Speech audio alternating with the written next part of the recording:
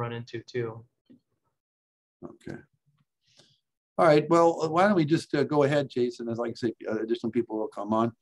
Um, our uh, honored guest uh, today in the uh, Lunch and Learn series is uh, Dr. Chase Mayers from Cornell University. He's an alum of Iowa State University with a, a, PhD in the plant pathology microbiology department with Tom Harrington and got uh, involved um, heavily there, and, and I think even before that, um, Jason in teaching. And uh, at Cornell University, he's a teaching support specialist, and he's going to talk to us uh, about some of the uh, innovative stuff that he's involved with with uh, um, uh, with teaching there. So, Chase, welcome.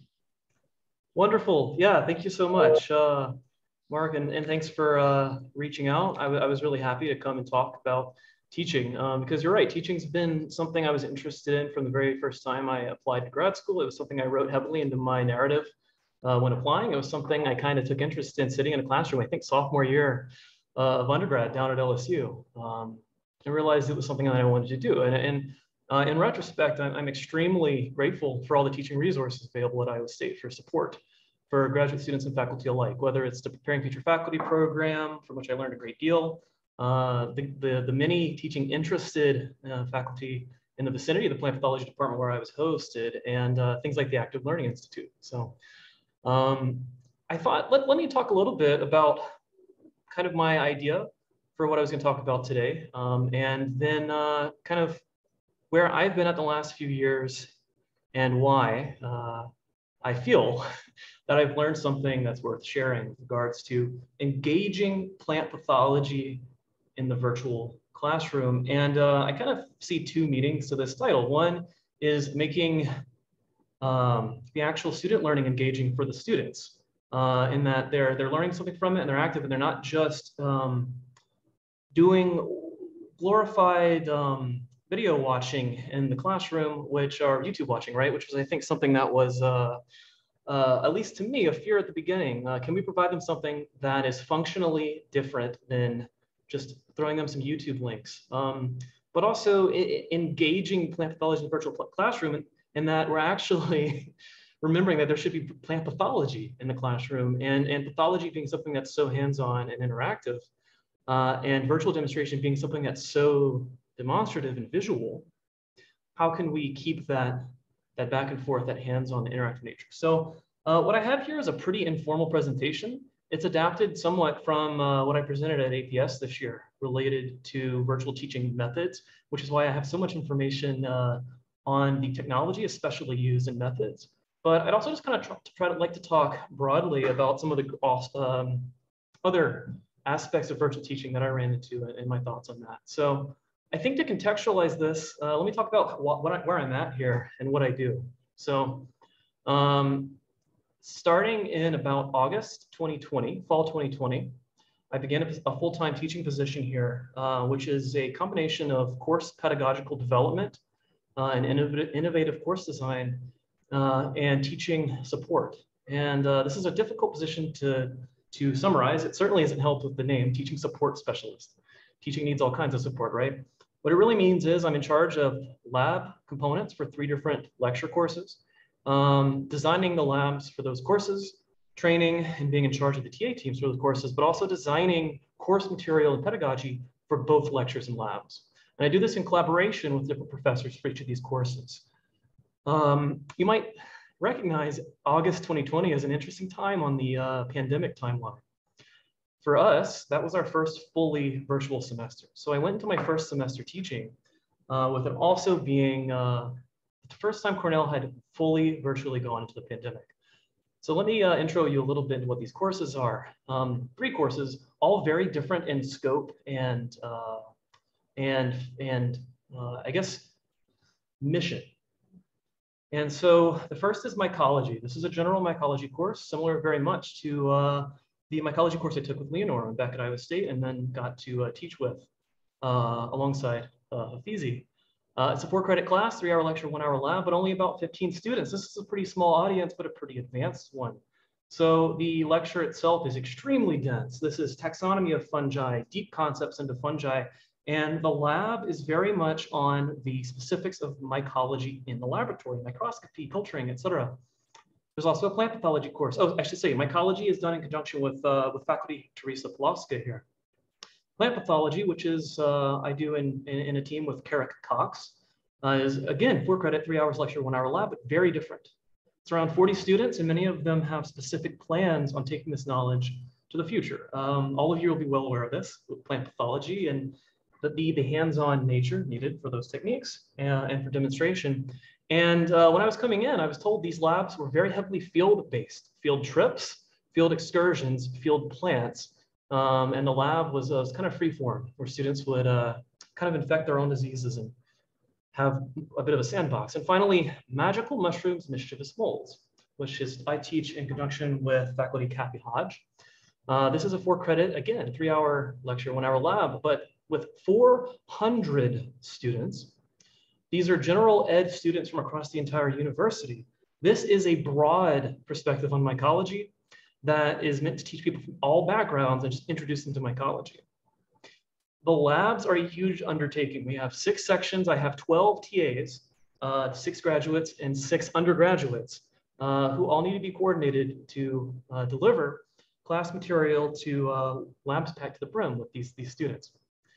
And uh, if you ask me which of these was the most challenging to, uh, to deal with in a pandemic, I'd actually have a difficult time saying which, but I think this one's certainly the one that was the most volume. So uh, let me give you the COVID perspective a little bit here, because I know in, uh, in a way that's a little subtly different than Ames as well. So Cornell's done a pretty good job of tracking COVID uh, in town for the most part. That may or may not be the reason why we've hit national news twice for, for outbreaks here, both the start of Omicron and then again at the start of the BA2 variant this semester. Um, I'll actually increase the window here. Um, you can see we've certainly gone through troughs and we've gone through spikes. For the most part, we've been fairly lucky here. Um, but Cornell's policy has been very strict, both in the research and the teaching sense. Um, by the end of March 2020, uh, we had full absolute lockdown on campus. Classes had to suddenly move to fully virtual teaching. Undergraduates were not allowed in laboratories and uh, no research was allowed in laboratories either outside of uh, completely essential work to keep cultures up, for example. Research didn't continue for several months, um, but teaching was fully virtual for an entire year. That means both fall 2020 and spring 2021 was then uh, partially virtual and partially in person last fall. And this semester is our first time back in person, although we've had a few uh, jumps back to virtual, including last week, where uh, in wake of the BA2 variant, we decided to uh, move to virtual again. But that wasn't a Cornell decision, that was a independent decision on our part. So with all that in context, that means I traveled all three of these courses fully virtually between fall 2020 and spring 2021. And uh, I wanna go into most detail on the plant pathology course here, biology and management of plant diseases, since uh, I'm talking to a bunch of plant pathology folks, right? So a typical semester, it's traditional lecture with active learning components. I love active learning. Uh, I don't want to make this into a uh, active learning advertisement. In fact, I believe um, Holly Bender gave a seminar in the Plant Path seminar in 2015, extolling the values of active learning, team-based learning. Um, but the again, like I said, the lab included field trips and self-scheduled lab time. Field trips clearly weren't going to happen in the pandemic, and uh, they were even difficult when we returned in person because of seating limits inside uh, university buses. So for fall 2020, uh, when we went fully virtual, we chose to have synchronous lecture with team-based active learning uh, via breakout rooms. And let me say, uh, I'm so appreciative of breakout rooms uh, in Zoom, especially their improved implementation as the pandemic went on uh, for replacing a lot of things we lost in the move to virtual. I'll talk about that a little later. Uh, we decided to also have synchronous labs with small sections, um, with sections that were the same as the section students would break out to in the lecture. The hope there is that they would get to know each other, have a little bit of uh, camaraderie, and uh, some kind of human connection by being in these breakout rooms. And I'll come back to human connection in a bit. And so uh, the live interaction, uh, interactive streams replace hands-on labs. And I'll get more into detail later, but what we decided to do was to actually up our TA team to eight with two grads and six undergraduate students. We were further divided between two campuses. Uh, Cornell has a separate ag and main campus. So we had half of our teaching team at the Geneva campus and half at the Ithaca campus. We were teaching eight sections two simultaneously at both Geneva and Ithaca at the same time. We were moving sick plants uh, the hour trip both ways each week and making sure we had uh, materials in both places. And we were teaching uh, separately and simultaneously. The reason for this was we thought the smaller section size would allow more direct contact between TA and students in a virtual environment. You might have noticed it's really hard to connect with a large group in Zoom, whether it's been at conferences or in class. And I gotta say, APS did a really interesting job of, uh, of uh, getting around this with the whole, I don't know how many of you experienced this. Uh, Mark, I know I went and talked to you in the teaching bubble because you got a, um, you would become a little circle and you'd move virtually in a, in a 2D space and you could move to other people's circles with their face pictures and start to talk with them. Um, but I contrast that with, I think, what a Mycological Society, a huge single room with a bunch of people in video chat, very difficult to have uh, these separate conversations. So uh, we thought it was a success, even though it was a lot to uh, have eight sections when the course was used to having only two and to coordinate the simultaneous delivery. But uh, I don't think that there was any other way we were ever going to get full participation in interactive labs, which is when we would have a camera ready at the bench. And I'll show you examples of this later. And we would wait for the students to tell us what to do next. We were basically their voice controlled robots doing the protocols and procedures And in an attempt to involve the students somewhat in the process of science, not just the material. One of the really difficult things to uh, communicate in labs. Um, active learning replacing class discussions. Discussions, the time where students can teach each other and actually exchange uh, ideas, I thought was even easier with breakout rooms. Um, it was easy to send students out, bring them back. Um, I want to elaborate on this uh, now. And uh, we moved to self-guided forays in place of field trips, which I'll, again, I'll, uh, I'll touch on later. But all, I think Importantly, all these adaptations teach us something about teaching that is still useful in the new normal moving forward. And so I want to talk a little bit about that too. What, what, what can we bring forward that, that we, we learned? And so I think this was a really convenient time to move to virtual teaching. Uh, thanks to the rise of YouTube streaming, video game streaming, Twitch streaming, um, not to mention hobbyist videography, cell phones and the like, uh, we, there's no better time to get uh, hobbyist streaming and video tools. And so uh, it was relatively easy, even on teaching funds, to put together uh, what really felt sometimes like a movie studio more than a, a classroom. I had, I literally had lights, I had uh, cameras, and I was providing the action at the bench. And uh, thank goodness for, for easily acceptable, uh, accessible consumer technology, which I'll talk about in a bit. And uh, what I'm really excited about is the pretty simple equipment setup I came up with that allows field recording and field uh, participation, which we've continued to use even live. I want to bring up this the study cycle. Um, this is something produced at LSU, again, my alma mater, but uh, it's not Homerism. I, I, actually like LSU's concept here. This is something originally created by uh, Frank Christ uh, a little while back. Um, because I think the pandemics has, uh, has affected each of these stages differently for both us and for students. And it's easy to just focus on the presentation portion of, of, of teaching, which is what I'm going to focus on the most today. But um, you can't deny that there's been significant impacts on how students review, how students access material afterwards, um, and how students uh, reflect that material back during assessment. Um, and I have some thoughts on all of that, but my main points I want to get across today. What are some of the challenges of teaching in a pandemic? What are some of the ways uh, we can solve those for plant pathology and what can we learn from those to uh, bring forward into the new normal, whatever that's going to look like? And I know this isn't an unusual thought in, the, in your department. Uh, in fact, some of your own faculty have published on exactly this recently, and uh, I'm sure there's gonna be a lot more of this coming out of the pandemic.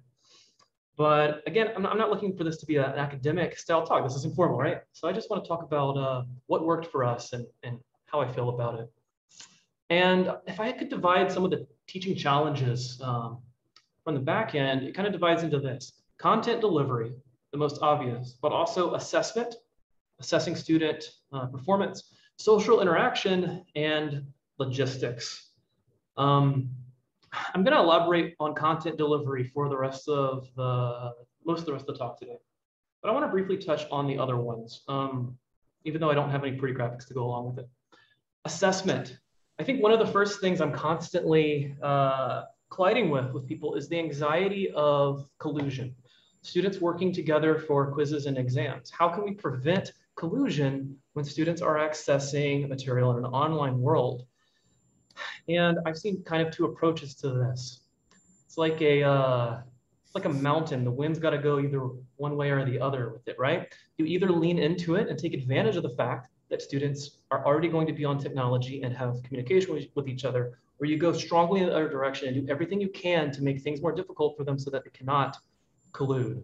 So the difficult direction, you may have seen, um, I'm sure none of you use this, uh, the news about eye tracking software to make sure a student doesn't look away from their exams, or computer monitoring software to make sure students don't change windows or use chat programs. And uh, I don't think it's controversial to say that, in my opinion, those are pretty abhorrent and are only making a, a pretty a pretty distant and uh, impersonal pandemic even worse. Um, other methods can include careful use of deadlines, uh, careful windows for releasing content, mixing question banks. We've actually had really good success in the 400 student class with mixing question banks and in changing the order questions are given. And uh, you can even do more intricate, there's a more intricate process in which you strategically give students access to certain questions um, while also uh, stepwise offsetting their quiz start time based on their current classroom performance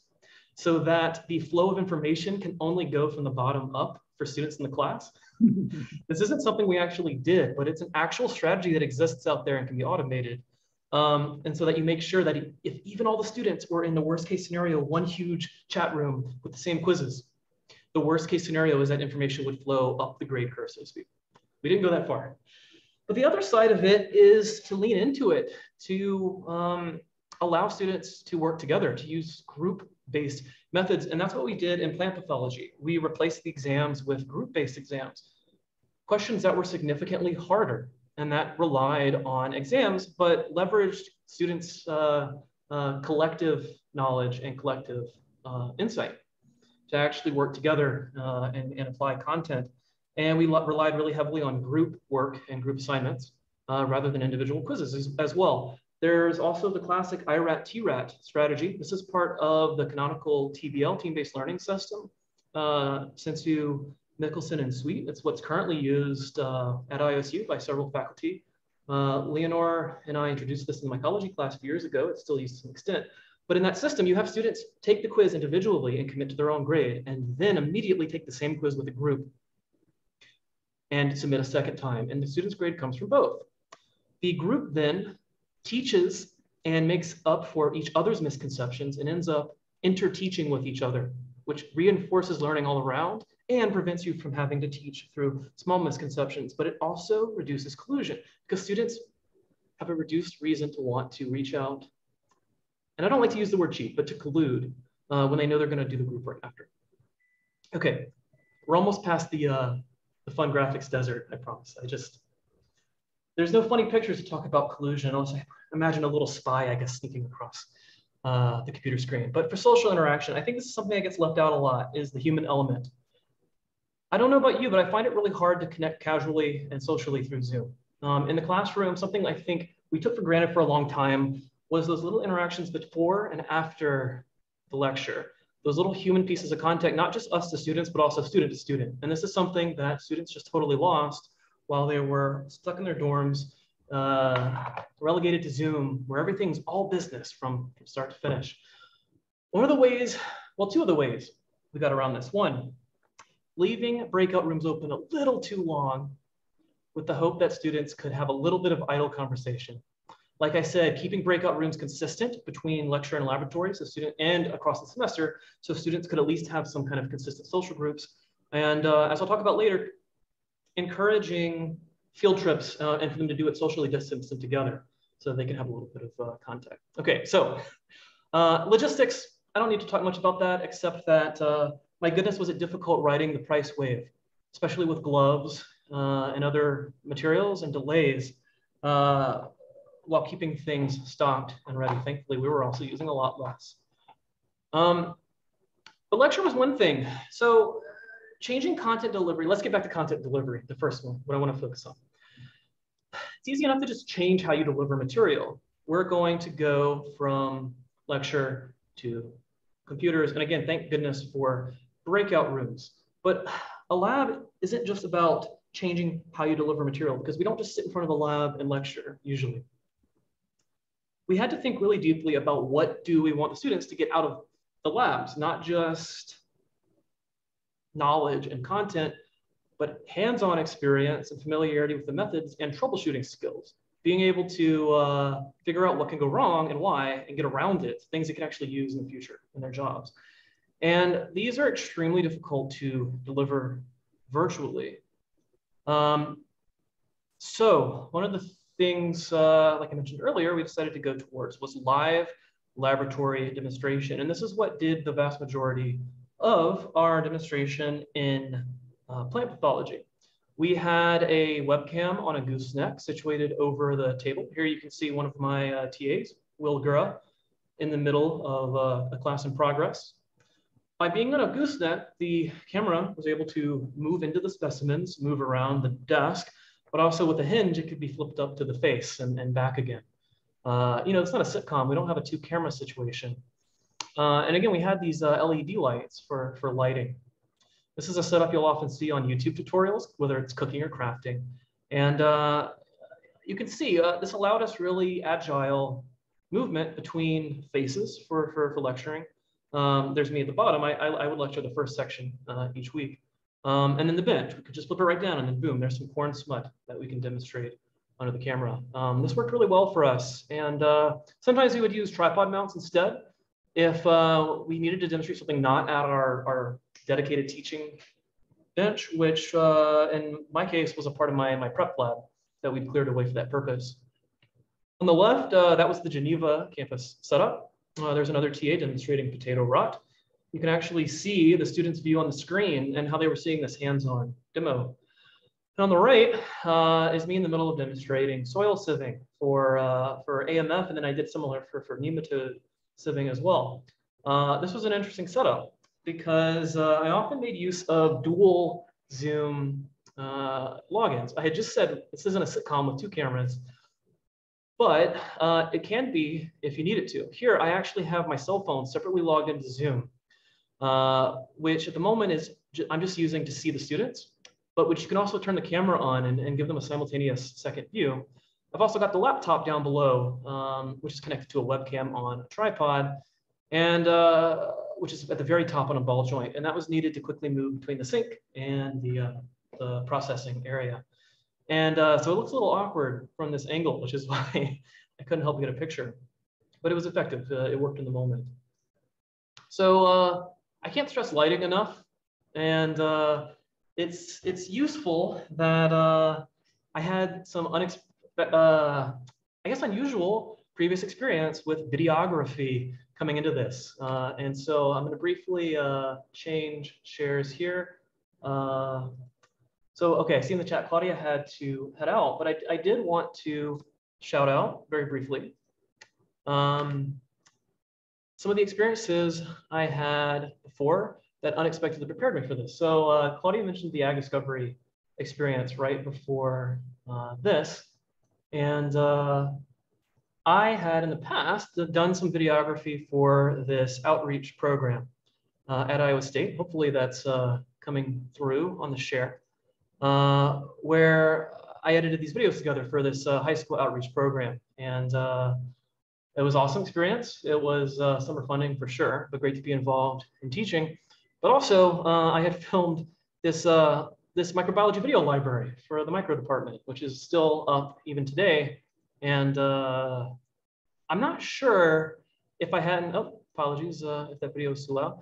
If I hadn't had this experience, I'm not sure if I would have been ready to uh, immediately jump into with about three weeks notice, um, fully videoing and preparing and uh, planning these videos. But uh, I think it's good experience to have for teaching, uh, even in a non-pandemic context. And uh, I'll explain a little bit why moving forward. So, uh, but lighting, I don't know that I would have had lighting theory in mind without it. And gosh, does it make a difference?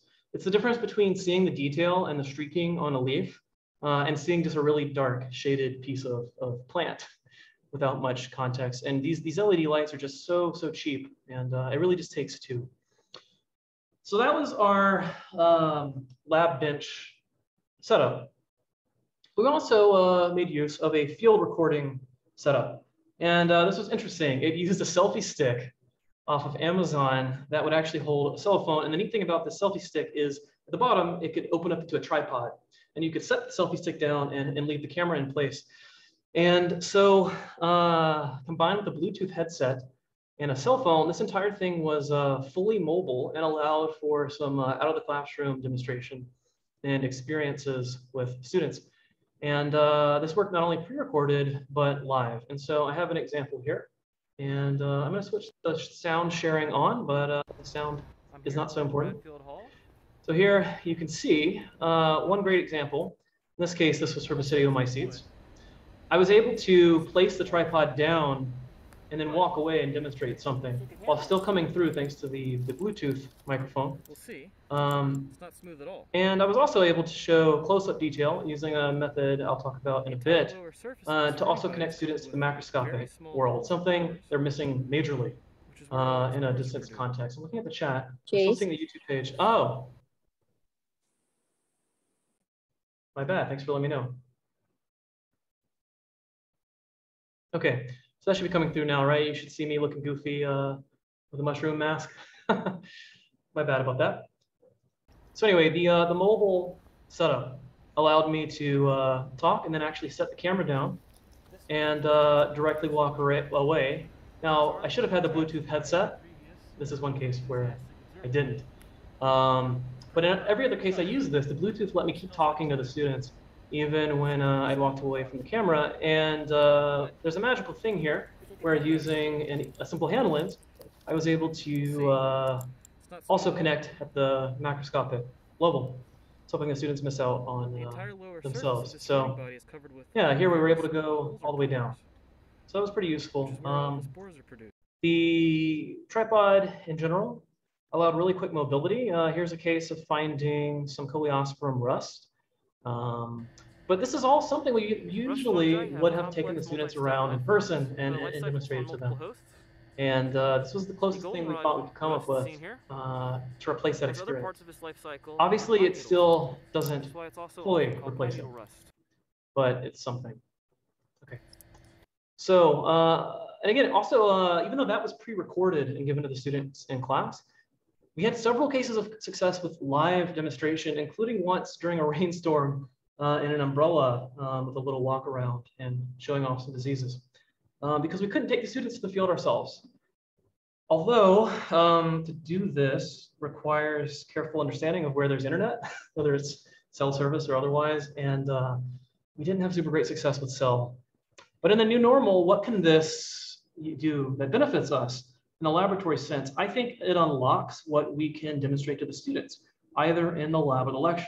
Um, especially in plant pathology and mycology, I think we're often locked into not only space, but, but time, how, how the seasons change, what is current and available. There's a reason plant pathology courses are often taught in the fall, right? Same with, with many mycology courses. But by using these kinds of pre-recorded um, tools, we can expand the what. We can bring students material too large or rare or delicate to bring to the classroom. Uh, so um, a fungus that doesn't remain intact, a fungus that's uh, too large to remove from a tree, we can expand the where. Um, we don't have to take students to every single spot, material that's too far away, difficult location. Um, in our cases in town, places where we've got permits to go ourselves, but not to bring students.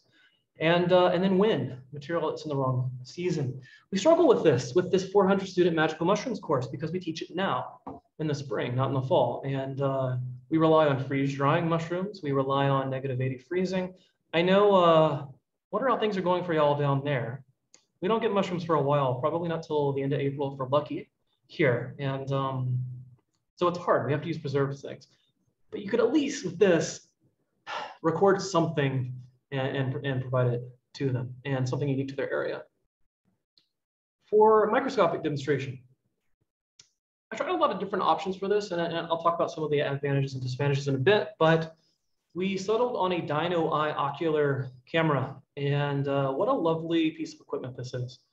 Rather than a C-mount, uh, you don't have to thread or unscrew. You can quickly remove it from a lens and switch it to another, which let us switch live from um, microscopes to dissecting scopes during demonstration. And because it's USB, Zoom recognizes it natively. There's no proprietary drivers like you get with some of the more expensive brands, and you don't have to use any special software. You could just directly switch to it in Zoom, uh, which was great.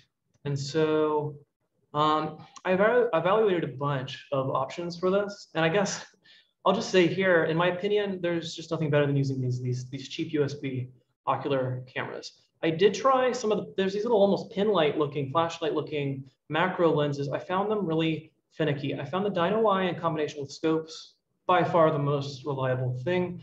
Um, I had a, uh, a C-mount camera, again, way too finicky. It was a research grade camera for the purpose of quality, not frame rate.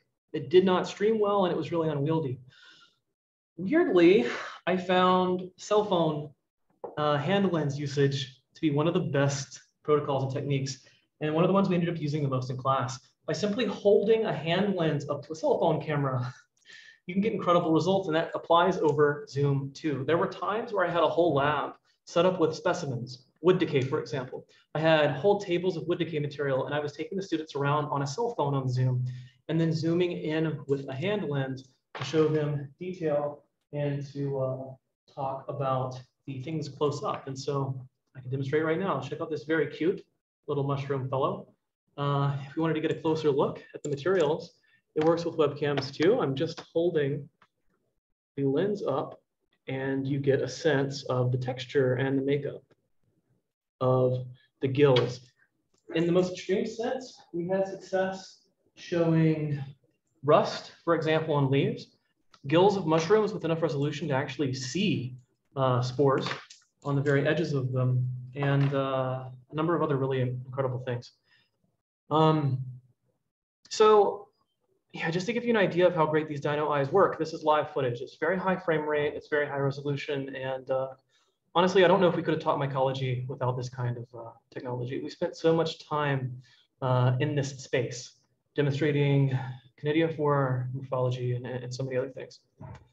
Um, for macroscopic demonstration, like I said, hand lens, it works wonders. There's some Chasmothecia from, uh, from a leaf uh, as an example. Uh, also, I, uh, I eventually ended up investing in this tablet here. This is a really special model. This is a Samsung model that's been discontinued, but uh, it's the only one on the market recently with a bright enough screen to really use in the sunlight. And uh, I had the joy of using this in person in the field this year with PlantPath. And what it let me do is use the hand lens technique, go right up to a plant, and then have that rust or have that um, that that those little tiny apothecia on the screen, and have a whole group of students around me looking at it and, and demonstrate right there in the field when we were at the farms uh, or on location.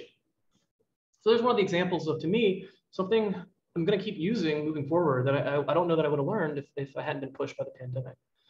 Um, pre-filmed produced video is not something we did a lot, but properly filmed, uh, edited, and uh, processed video. Again, thank goodness I had the experience from Ag Discovery. Um, but I want to talk about how we use them in the class to try to replace some of the harder parts of labs, the uh, hands-on and the troubleshooting parts. And so here we have a sick potato infected. We would often use narrated videos. Pathogen. Again, hopefully that audio is coming through uh, where we would narrate through everything that we were doing. By the unknown pathogen. And uh, by using multiple camera angles, we really get pretty detailed with this. Of an empty, sterile petri plate. But I'm just going to mute it while I talk. We would use these in a flipped classroom context where students would watch them before so that they were familiar with the protocols. And then uh, in class, like I said, we would be live doing the protocols, but we would ask the students to guide us through them. If they gave us mistaken directions, we would produce mistaken results and then talk through why that happened. And they used these narrated videos to prepare them for that. And this was our way to connect them with content um, and hands-on uh, familiarity, as well as um, a way to connect them with problem solving uh, about what could go wrong. And, and this worked pretty well for plant pathology, where we had some very specific techniques uh, to demonstrate to the students. Um, we also worked with non-narrated videos. So there's no narration whatsoever here, and we used pause and discuss for this. So uh, we would pause at different parts of the video and then ask the students to uh, discuss with us um, what could go wrong if we did this? Why are we doing this? What is this for? And we, we found this worked better for the magic mushrooms class with the students with a much more diverse background and without really much bio training coming in. Uh, we found this engaged them again on, the, on, on what we really wanted them to get from the class, which is just very basic understanding of why we, we do what we do in, in laboratories. Um, autoclaving, for example, was a great one. Uh, it made a big difference to be able to pause and play at the different stages of autoclaving and bounce that off the students. Why are we doing this? Uh, yeah, and that was effective in magic mushrooms, mischievous molds. But something this didn't solve at all is hands-on experience. And I can't say this is something we ever solved 100%. If any of you have, have, have solutions to this, I'd be happy to hear them. I saw there, uh, one of the things that sticks out to me is microscope skills.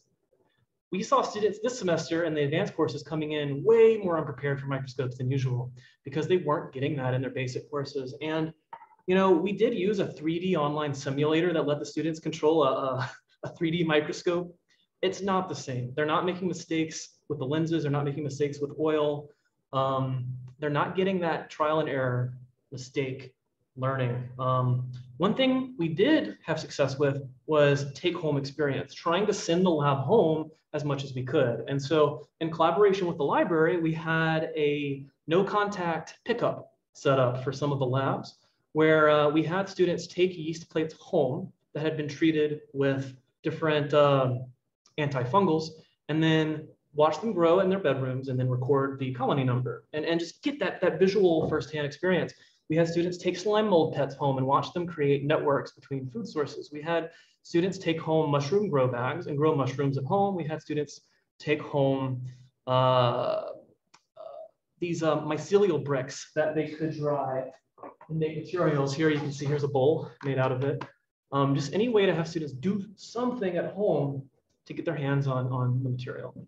We had them go out and find diseases and report on them and touch them and photograph them uh, it's connection, just trying to get the students connected to the material in any way possible. And uh, I briefly want to talk about accessibility because this is a big, this has been a big thing on my mind all pandemic. And uh, I think it relates certainly to videos, but also to lecturing, particularly with regards to captioning.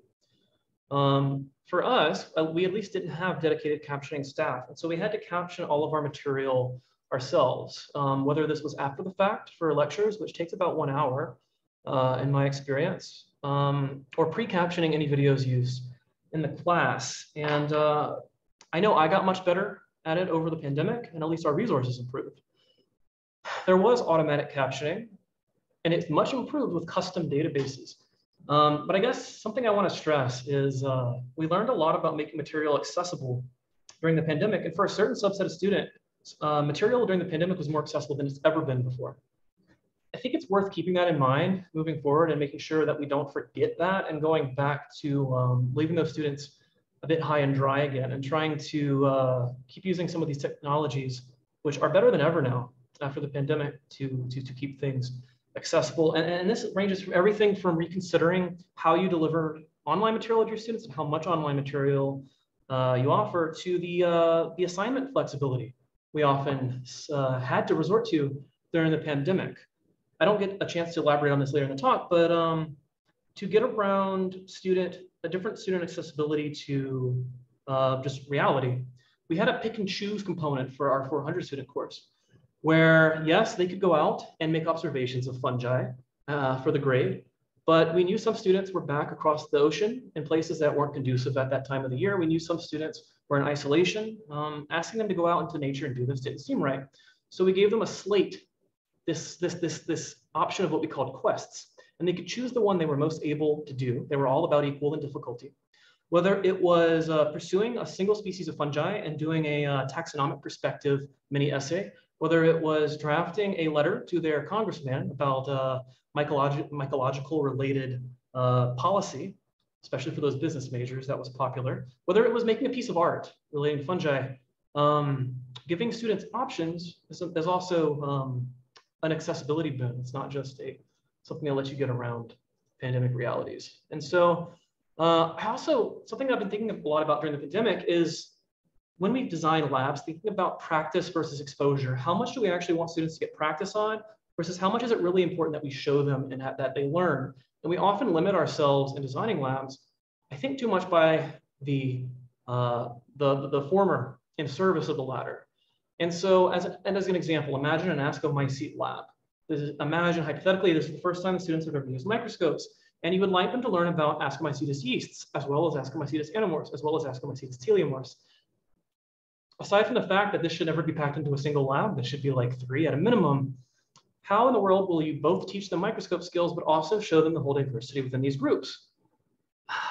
If you're going to have them prepare their own slides from every single one, maybe at max you get two examples for each of them. Maybe you get Saccharomyces and Schizosaccharomyces so that they can see budding yeasts and uh, schizogenous yeasts. Maybe you show them a uh, Phialid style anamorph and a uh, arthrosporic breaking anamorph. Maybe you show them a perithecium of Sordaria and then realistically run out of time because the students have run out of time. And maybe if you're asking them to write and illustrate, they're probably rushing the entire time and not really appreciating what they're seeing under the scope. At least this is what I've observed when we've tried to pack uh, too many observations under one time. I think one thing that we can really use from the pandemic are these technologies to demonstrate and that you can use that in the classroom to get around the fact that students have to do everything themselves. So imagine a case where you only have the students prepare X number and only spend the class time focusing on doing those really well.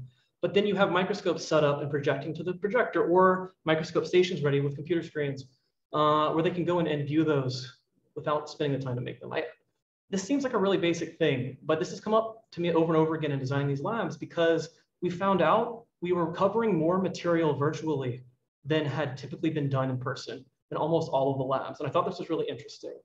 Um, yeah, it's just considering balance between how much you make the students repeat in the name uh, in the chase of, of material and not.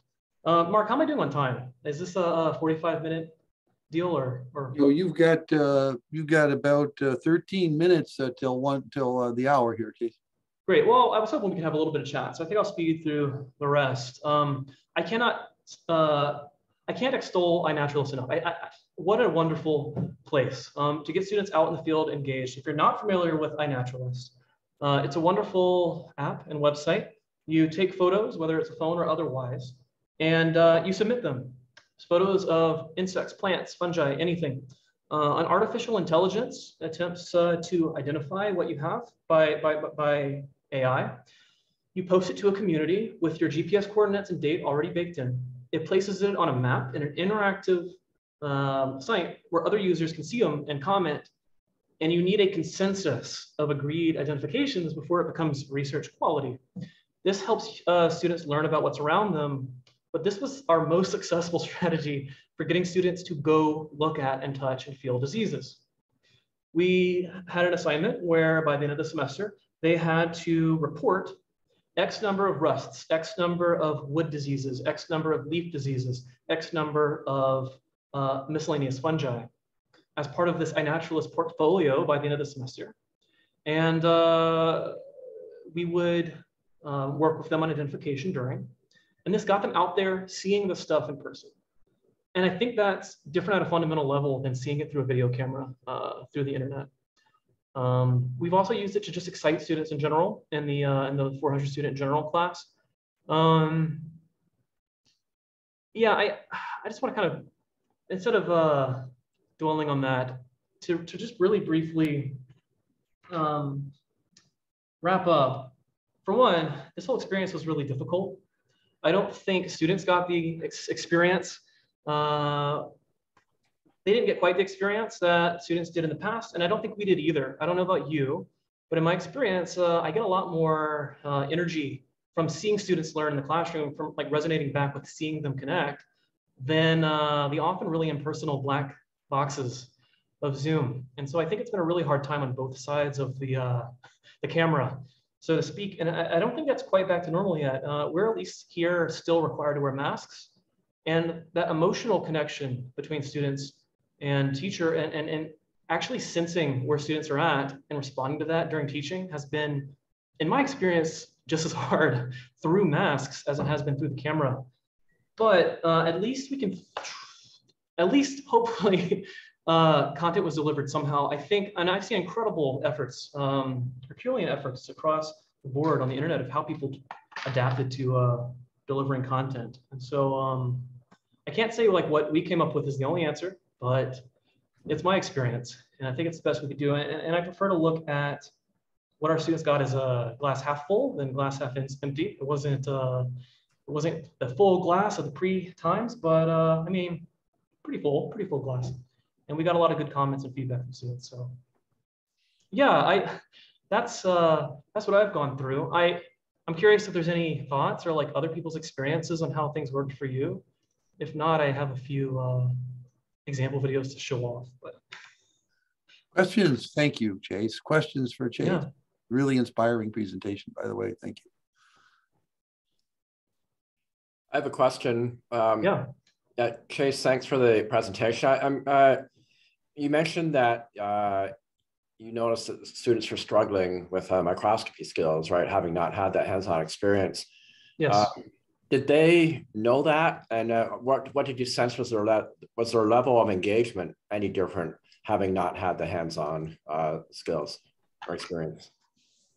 I uh, I felt the engagement was lacking, but I think it's really hard to, to gauge engagement. Are the students really engaged when we're watching them in the classroom and they're, uh, you know, they're going through the motions on the microscope? Uh, I think it's hard to say.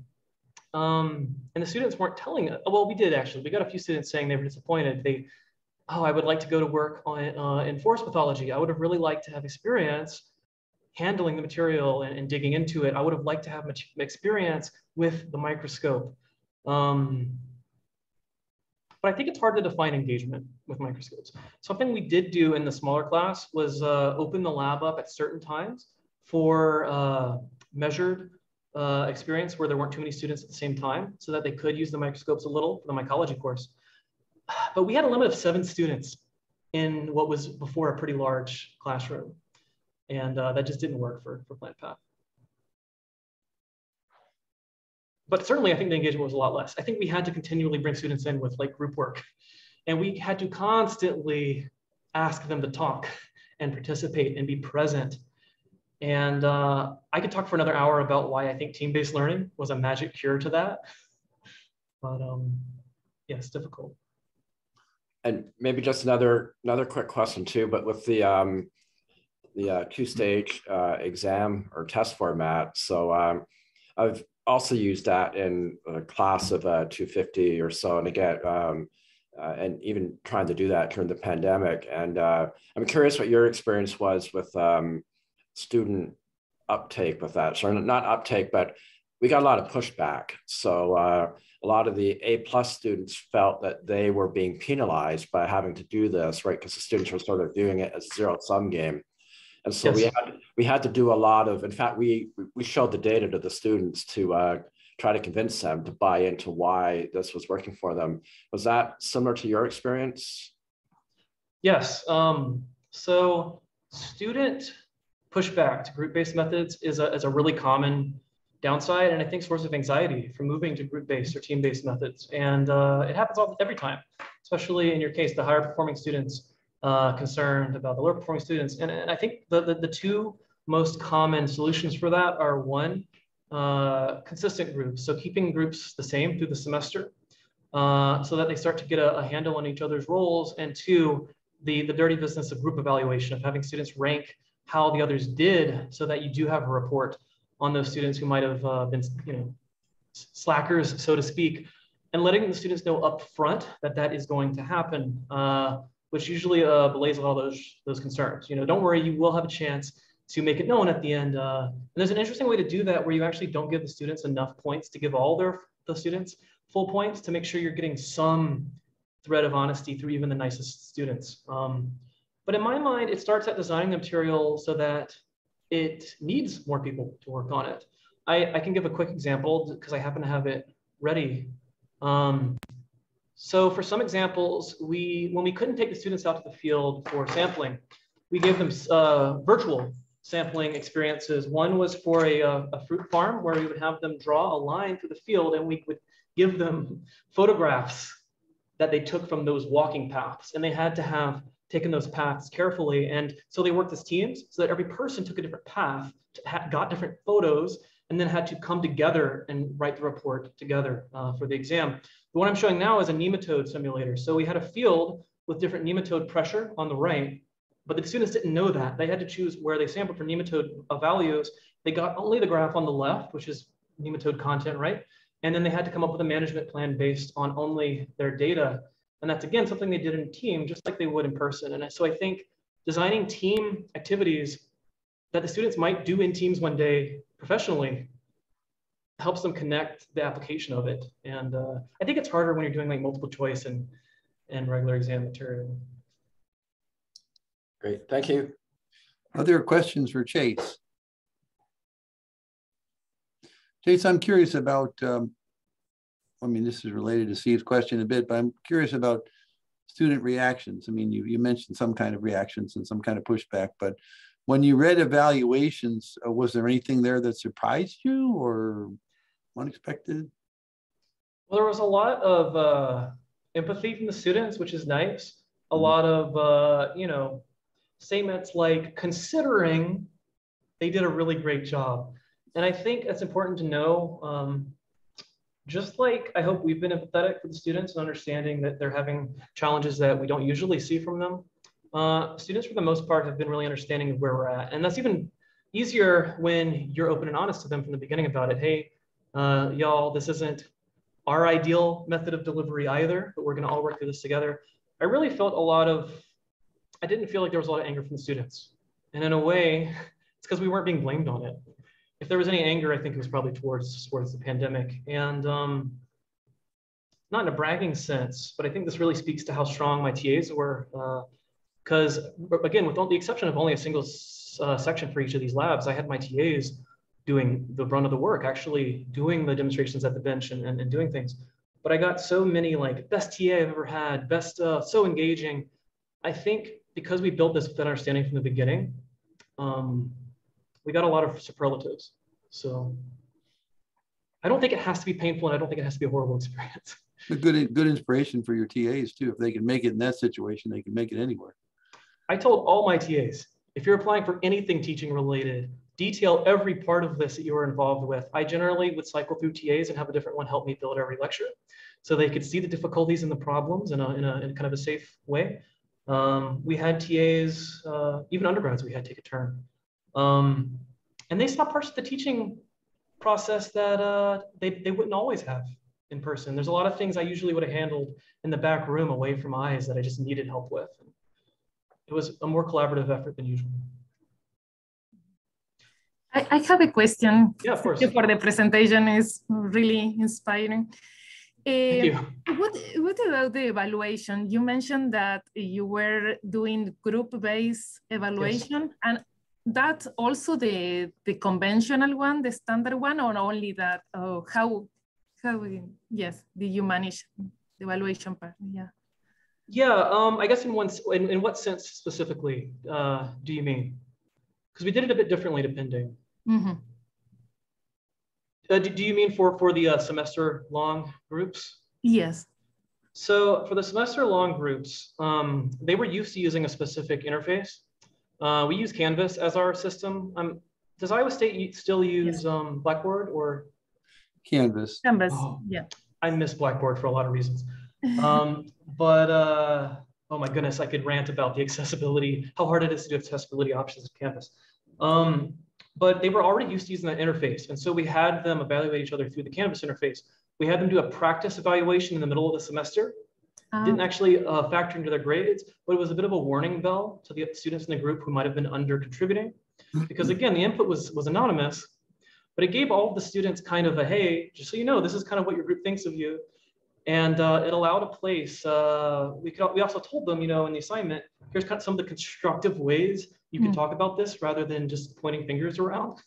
Let's talk about, I've seen other classes, I didn't do this, but actually talk about the different roles a group can take and having students apply to those based on their personality, about explaining to students that not everyone is a leader, but that's okay. The leader doesn't have to also take all these other roles. And um, I think that's something that would be, I would like to use in the future is, is, is, is letting students know other roles can exist in a group. And it's okay to, to break the work up in kind of heterogeneous ways. We had students do filmed video projects instead of poster projects for the 400 student class when they usually would have been doing this big poster exhibition in the library and stressing the students that three students, one three minute video doesn't mean you each film, produce, and write one minute of a video.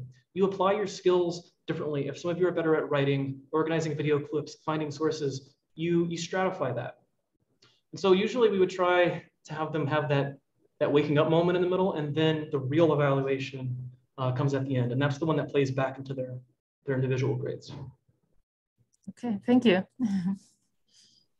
Other questions for Chase? I have a question. Yes. So, Chase, uh, I'm going to the beginning of your talk. Uh, these three classes, did you uh, took over from other professor or were classes you proposed to the university and how that worked for you that the you started uh, from zero or you had somebody Great before? question. Yeah, and I, am glad that you mentioned that because I actually should give a great deal of credit to my predecessor. So I took this position. Um, it was a hard choice, actually. I, I, I chose between this and a, uh, a, postdoc extension that I had available at the time. And it, and it was a really tough decision. But uh, I'd really been itching to teach for a while. I was missing it. I was two years out of it. And uh, there's so much mycology and fungi at Cornell. And the person who had the position before me was promoted up to uh, a higher um, tier teaching position at Cornell as a whole, actually up at the university level. And so the position opened at the right time. And I said, oh my goodness, I can work with all these fungi classes. And oh my gosh, I didn't, I should, the amount of specimens we have, you know, I've got Taphrina leaves from 1927 that we just have as these beautiful specimens. I've got this Entomophthora fly uh, slide that was it just, was just written 97. And I thought, wow, that was made in 1997. It's in really good shape for that. No, it was made in 1897. So I'm working not only off of a huge amount of material that I was able to move from, but a huge amount of previous work. So my predecessor was a very organized person and had binders and binders literally of plans and scripts and, and had had to go through the sudden change to virtual in the middle of, the, of spring 2020. And so uh, I had course frameworks and I had a bit of a roadmap for what virtual teaching might look like. But that virtual teaching having to be done so quickly, and I do not, I, I really, uh, you know, don't, I emphasize for her in that situation. Um, it was largely videos and just text and, and stuff. But it was, it meant so much to use that as a roadmap. We weren't able to use most of it verbatim because we couldn't do the same kinds of labs that had been planned, but they were kind of inspiration, inspired starting points. Uh, so, so yes, this was not out of nowhere. Um, I think, think teaching is often like that. You're, you're building off of, uh, off of the, of what was made before. The, and thank goodness, because we had to write all of the group stuff from scratch and all of the prompts, um, as well as a lot of the, uh, the online actual material. Yeah, I should say specifically, uh, much appreciation to Mary McKellar of Cornell, who, uh, who, if she hadn't have had such detailed notes for me, I wouldn't have already had the calendar ready to have the corn and bean and um, geranium and cotoneaster growing and inoculated at different times so that I could focus on how the heck I was going to show these things virtually. well, we're, we're over the hour, uh, Chase. Really appreciate your time. Uh, uh, this has been a very, very exciting. Uh, uh, you're obviously a path breaker, and I think Cornell's very lucky to have you. Thank you. Let me uh, if, if, if, if you don't mind, let me uh, close with just one video that I can't help but show off. Uh, this was amazing. Um, I managed to bind our one of our cameras to a needle and pick up a slime mold uh, from the, on the tip and uh, carry it up. And uh, although the video doesn't continue here, I was able to actually follow it all the way to the microscope slide to show it deposited there. And uh, if you take anything back from this, how else would you ever show a student that? We can show students really amazing things using cameras and screens and projections. So keep that in mind uh, for classroom technology. Fantastic. And Mark, thanks so much for reaching out to me. Oh, you bet. And and don't be surprised if some people from here are emailing you every now and then about uh, uh, some advice about your uh, technology and the way you mastered it. So please do. I can let you know uh, what technology worked, what technology didn't work, and uh, software, anything else. Be happy to. Thanks again, Chase. Appreciate your time. Yeah, thank, thank all y'all. Uh, happy Friday. Have a good weekend. Thank you so much.